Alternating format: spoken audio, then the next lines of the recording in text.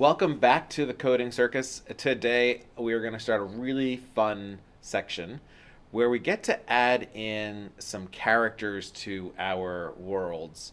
In the past, we've been dealing with blocks and spheres and adding some objects into the world, but all those objects have been static for the most part. Uh, I know with the shapes, we could kind of change their shapes dynamically and move them around a little bit. But now what we're going to do is add in some real animated characters into our worlds. So let's dive right into the code and take a look how we do this.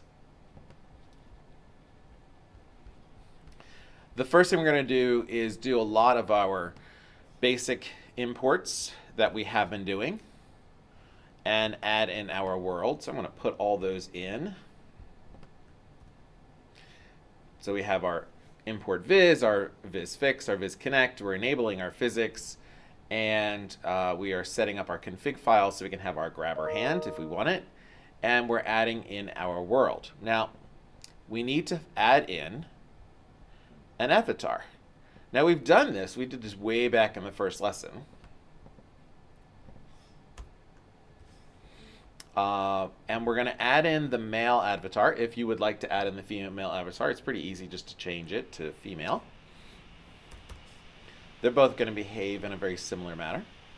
And I'm just going to call it the avatar, and we've been using this command vizfx.addChild for everything, which will work in this case. But as we move forward in avatars, we may want to get in the habit of using the command add avatar. It's not going to make a difference here. All the blocks and code will all work the same.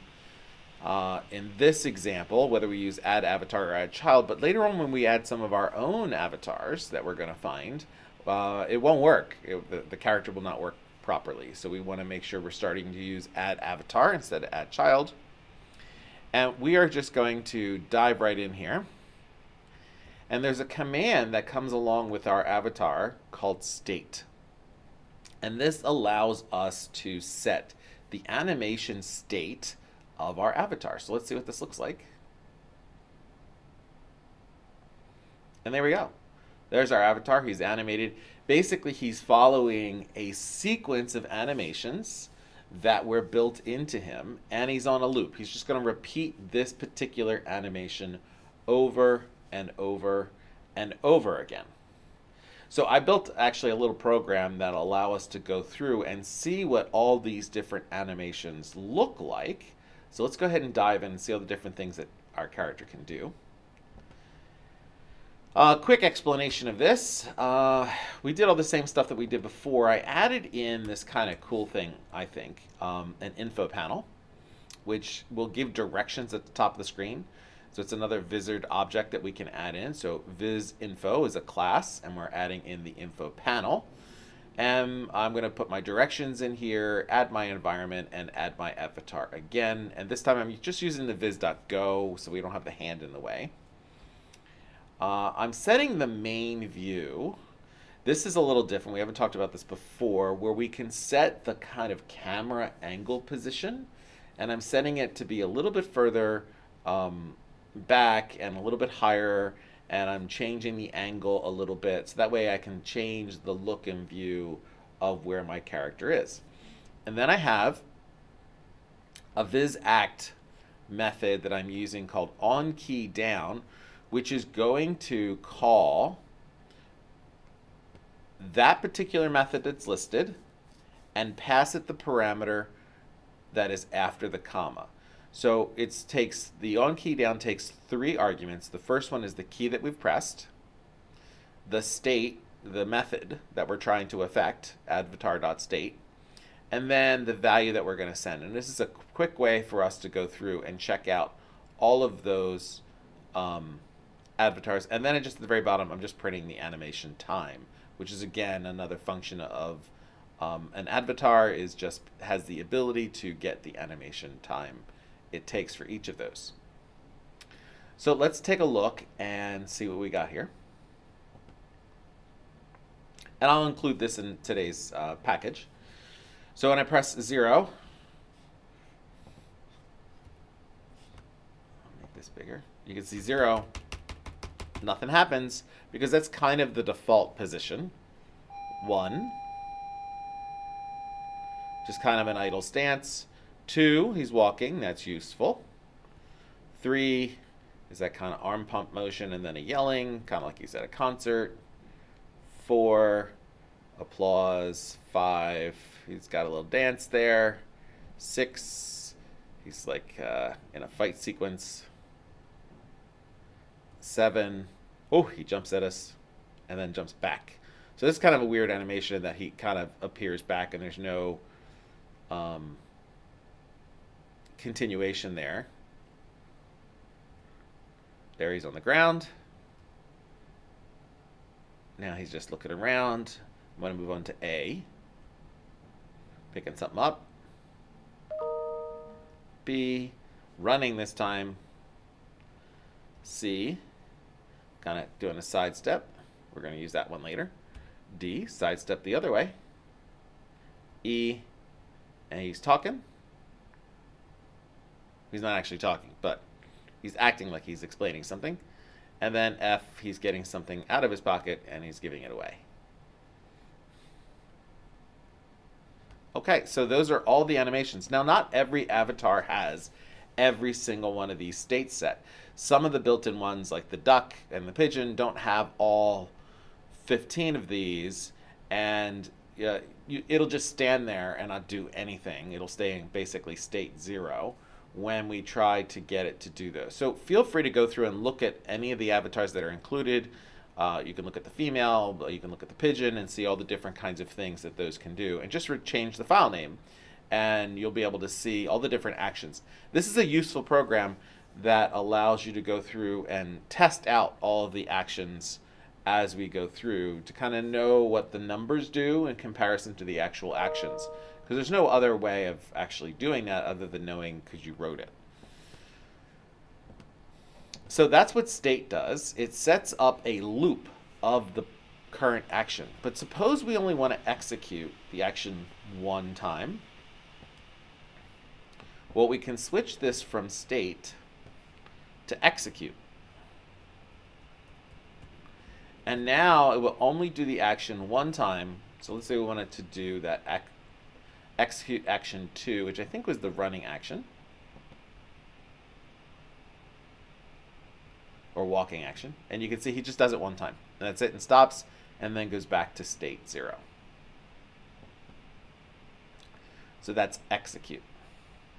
Now another way that we can uh, do animations is we can kind of queue them up as actions. So we can have our avatar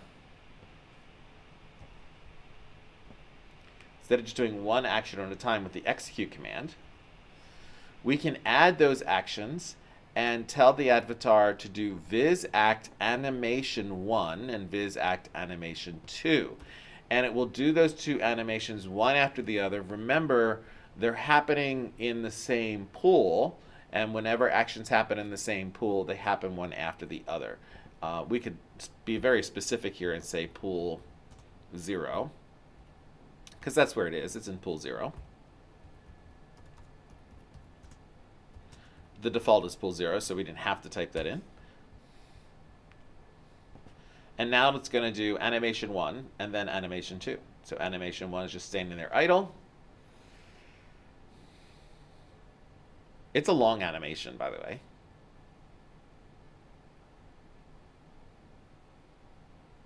And now he's going to go animation two, which is a real quick walk with a idle afterwards. Oh, I think the idle's still playing. Okay. Unless I have a state in there that I don't realize. Did I set the state somewhere? No. Okay. We can go through all of the actions. You remember for loops? We could go through all 15 actions if we wanted to. I kind of like the motions program a little bit better for this than doing a for loop, but you know, it's a good application of Python here. So I'm going to play all animations by using a range value, um, 0 through 15. 0 is not going to do anything. And we're going to do the add animation where we're going to do x plus 1. That way we're actually going to go 1 through 15 because we don't need the uh, 0. And remember, range is not going to go up to 15. It's actually going to go up to 14 and then stop. So it's going to be 0 through 14. If we add 1 to it, that gives us 1 through 15. And I'm also going to print out the different actions. I probably will stop this part way through, um, especially since idle is uh, a little bit long. And we'll be able to see that it's just going to kind of go through and do all of those different animations.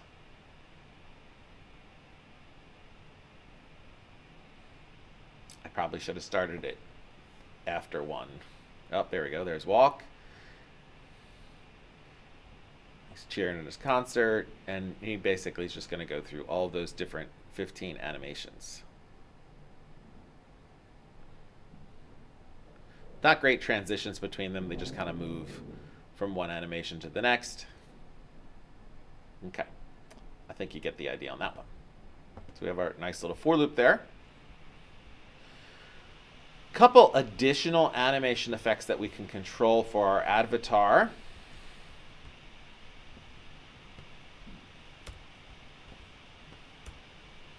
We have the ability to set the animation time, which will play animation 12 in this case, and go for one and a half seconds into the animation. And then we can also set the speed. I'm going to run it at one tenth speed. So it's only going to do the first one and a half seconds of the animation at a one-tenth speed, so basically slow-mo.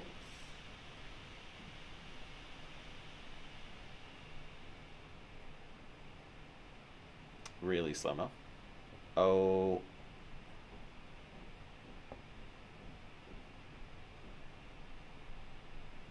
Oh, I actually have to do the animation. Whoops, sorry. I have to have the animation in.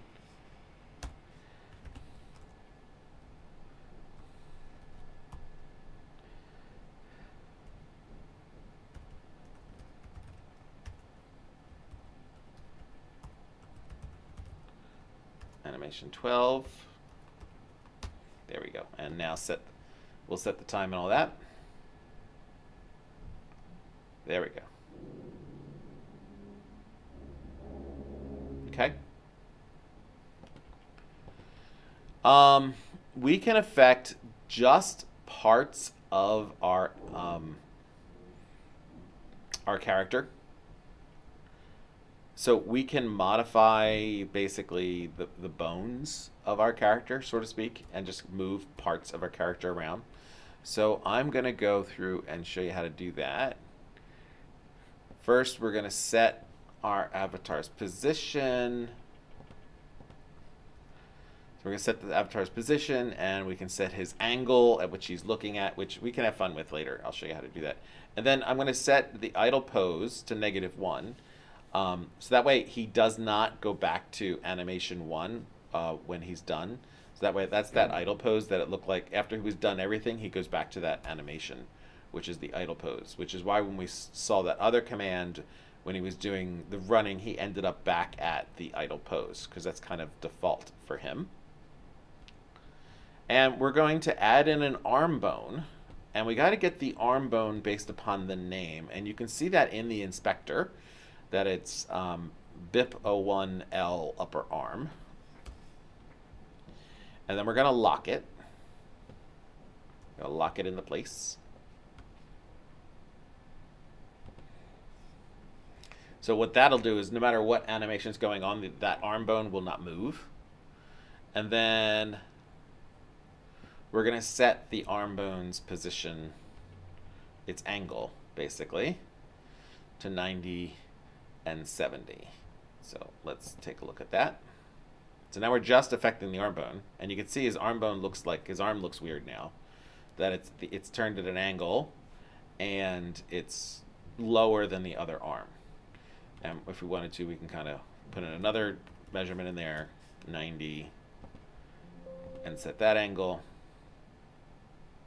And you can see now his arm is up in the air. He's kind of waving at us. Okay? So we can control and create our own positions just by manipulating the bones of our character. Now, the problem with this is you have to be careful because once his arm's up there, if we set an animation to him and just set his state, which is going to loop him at state 12,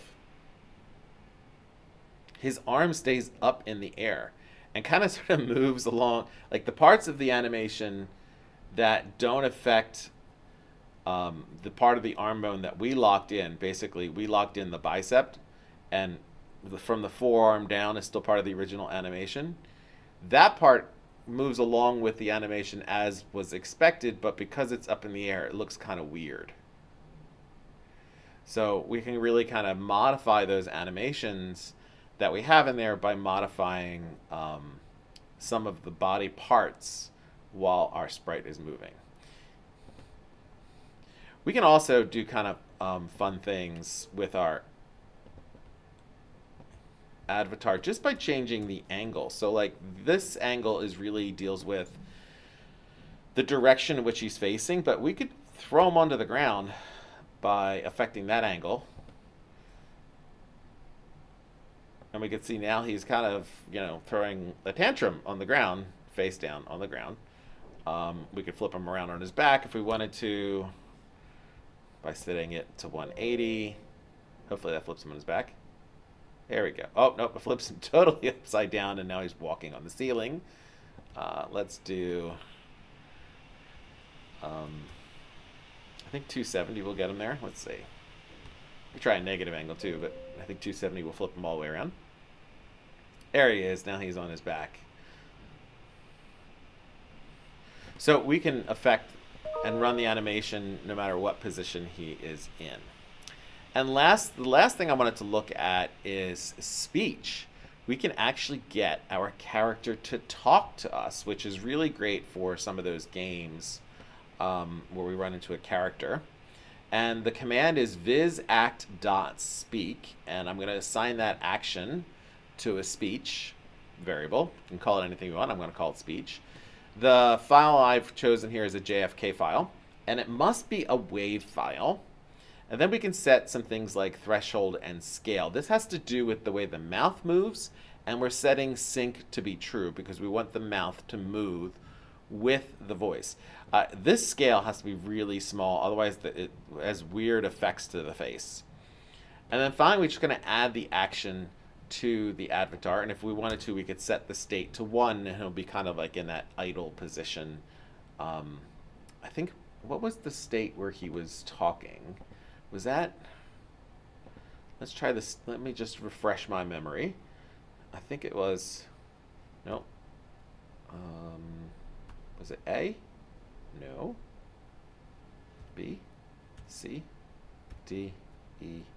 It was E, which if we look at our listing here, E was action 14. So I think I'm going to switch this to action 14. That'll make sense for a speech, I think. And let's go ahead and take a look at that and see how that works. Remarks of the President at the swearing in of his junior cabinet, East Room of the White House, January 29, 1961. Now, it does play all the sounds. Mr. Justice, and uh, Mr. Vice President, I want to uh, welcome all of you here to the uh, this reception. Purpose was to complete Okay, the so let me close in. that. You can also record your own sounds uh, as long as you save them as .wav files. Uh, the program I like to use is called Audacity, and it is free to download. You do have to make sure that you're recording it as mono. Make sure it's not stereo. It's going to cause problems if we record it as stereo. So um, I'm set, I have set this up to a mono recording channel. And I'm just going to put a little test in here. Uh, I might cause a problem because I'm recording with two pieces of software. Testing one, two, check two, check two, testing one, two. So I'm going to save that. I'm going to export that as a WAV file. I want to make sure I'm saving it as a WAV file. And I'm going to do, we'll go up here. Test.wav. Save that. That's it. No, I don't want to save the project. And I'm just going to switch this from JFK to test and run it. And now you'll see it'll have my voice. One, two, check two, check two, testing one. Okay. So you can add in anything you want and have your characters speak within your story. That is all I have for you today. I hope you have fun adding in your avatars and adding some actions and playing with them. I will see you next time.